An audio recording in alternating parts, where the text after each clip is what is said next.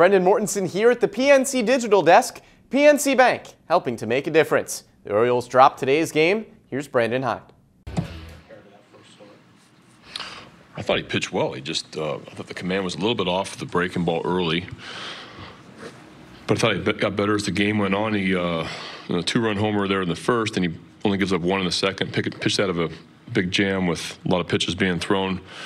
Real good third, real good fourth. Pitches out of a jam with a zero in the fifth inning. So only gave up three runs, traffic in a couple innings. Um, but I did a nice job, kept us in the game. He's had to work out of quite a few bases loaded situations in his short time with you guys. What, what do you think it says about him as kind of a, a, you know, he's a young guy, but a veteran pitcher to be able to pitch through those spots? Well, just I think it's veteran experience and makes big pitches and in, uh, in spots, and obviously a lot of experience helps. And um, but yeah, I mean, he kept it right there for us, allowed us to give us a chance to get back in. Left with a down, only us down three to two, uh, but got some big outs there in the fifth inning to keep the score right there. Well, what did you uh, what did you make of Fuji tonight? Well, I thought the first two outs, Hazy made a great play on the ball over the wall.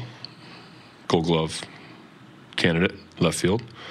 Um, two outs and then three walks. I thought, you know, I looked at the first two walks, just barely missed off the edges on a few pitches, and it didn't, we didn't get some of those calls. So, um, you know, unfortunately, walked three there, and Altuve gets an end of the bat base hit off of off of Baumann. What's the difference why you take him out after the third walk and not the second? Because I'm trying to get him through the inning. What'd you like about Webb's stuff? Uh, I like that he punched out three. These are tough questions.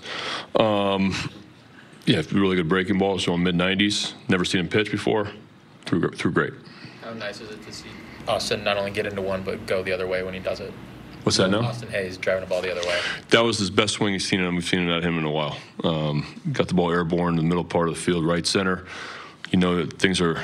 Hopefully, that gets him going a little bit. He's been coming around a lot of balls, hitting a lot of ground balls, and and uh, he got one airborne um, with a beautiful swing. Hopefully, that can get him going. Um, you know, to tomorrow into the road trip.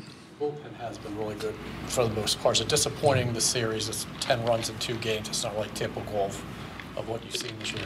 Well, unfortunately, I had to, you know, extend Mike Baumann there, and that's that's really not his fault, honestly. Um, just there was nobody else to pitch in that kind of situation. So, um, you know, he gave up a few thereafter, um, but I thought he made a good pitch to Altuve. He just gets out the end of the bat on one, and I could score could have been three two there at the end of the eighth inning, and and, and we're right there. But um, Mike's been doing a great job for us all year.